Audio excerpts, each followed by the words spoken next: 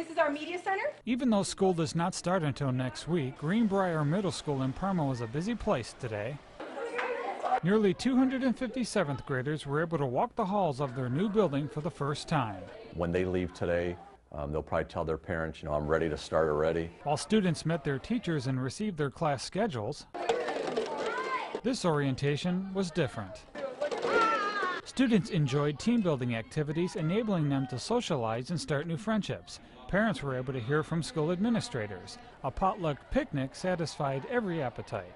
Hi, everybody. Principal Frank Spizak learned of this orientation idea at a middle school convention 11 years ago.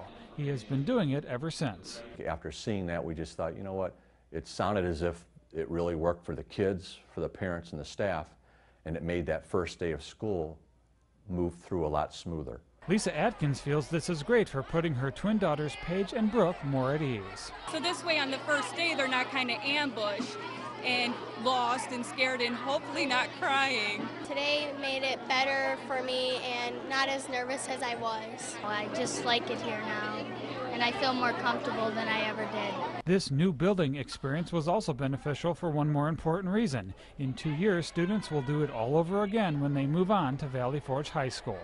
In Parma, Bob Fenner, News Channel 5.